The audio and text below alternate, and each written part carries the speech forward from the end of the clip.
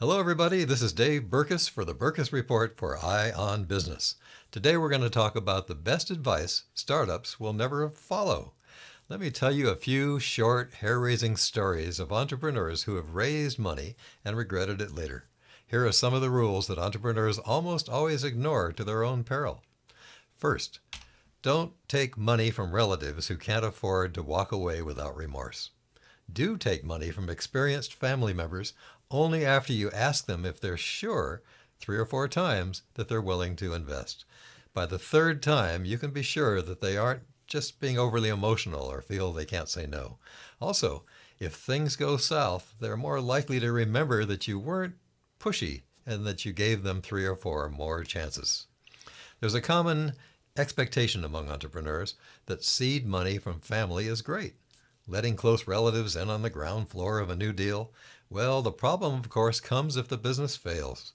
Some relatives believe that a family bond is an insurance policy and that all investments or notes will always be repaid no matter what the circumstance. Consider whether the family member being asked to invest has the capacity to walk away happily from a lost cause. Number two is don't take money, especially startup loans, from unsophisticated investors. I was a co lender and assumed the chairmanship of a young startup where the entrepreneur's cousin also loaned money under the same terms as I did. And when the business failed, the cousin sued his own relative and me and my wife, who didn't even know the name of the players, and even my family trust, an estate planning vehicle with no separate assets. It took several times the value of the cousin's loan in legal fees alone and a settlement just to extradite my interests from this suit that had no merit, but would have cost hundreds of thousands of dollars just to go to trial. Number three, do take loans from unsophisticated investors or from sophisticated investors only after you have tried everything to get them to purchase equity instead of a loan. And always with clear wording on automatic loan extensions if you're going to take a loan, even if you're making progress but need additional time to meet the full set of goals. Number four, don't let yourself talk yourself into a high valuation for the first round of financing for any reason, no matter what. Even if your hair is on fire and even if your idea is worth billions, the lesson is that no one should price them too hard. And it's not only hard to teach, but it's ignored by entrepreneurs on a regular basis. Early investors who don't have the experience to compare values or ask tough questions or accept the word of the entrepreneur as to valuations, they're the ones that are the most damaged when this happens. Later investors will enter the picture only after ensuring that the valuation is reasonable and comparable with other opportunities for their money.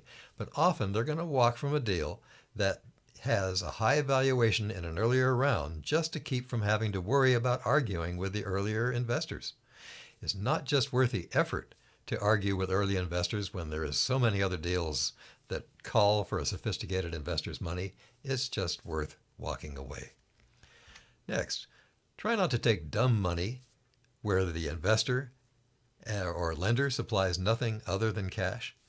There are five attributes of a great investor. Again, I wrote this in a book quite a long time ago called Extending the Runway. It's the money they offer under reasonable terms, their ability to guide you with advice that you, the entrepreneur, can take to grow a company, their knowledge of how to best use a corporate resource in time, their ability to extend relationships with others that will help you get there faster to speed your growth. Those are additional assets that are worth as much as the money that has been offered itself. Next, don't walk away from rejection by experienced investors thinking that they're stupid or just don't get it. Most of us in the world of early stage investing have seen thousands of proposals. I must have seen seven or 8,000 myself, good and bad. And even if we don't seem to like the brilliant idea that you have or buy into its value, we may be comparing it to previous lost investments or industry experiences far beyond yours. And finally, do ask sets of progressively deeper questions to get down to the heart of why they didn't invest. Every contact should be a learning experience, and those with sophisticated investors are doubly valuable.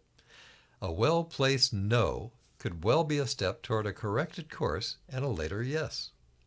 Well, those are pieces of advice from someone who's been investing for a long time to people who often have never seen the opportunity to see a sophisticated investor and what that investor can do. But here's my wish for you. If you're looking for money, may you do it in an organized way, in a way that follows these rules that we just talked about today, and may you be successful. This is Dave Berkus for the Berkus Report for Eye on Business.